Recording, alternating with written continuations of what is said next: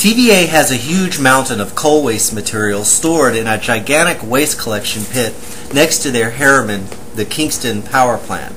This is a coal-fired power plant alongside a tributary of the Tennessee River.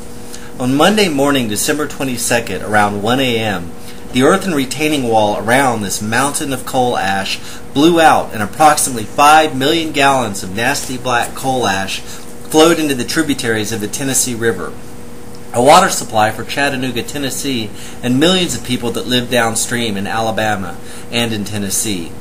These are raw pictures taken by volunteers from United Mountain Defense.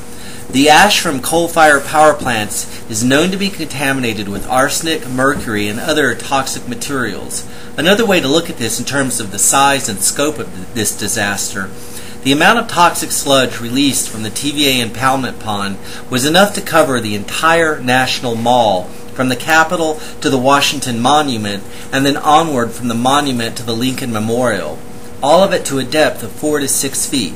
There would still be quite a bit left over to spill out into about a 100 acres of DC's side streets.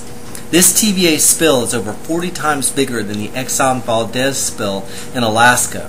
This is one of the worst environmental catastrophes in the history of the United States, which makes the early lack of coverage by the national media of this so surprising.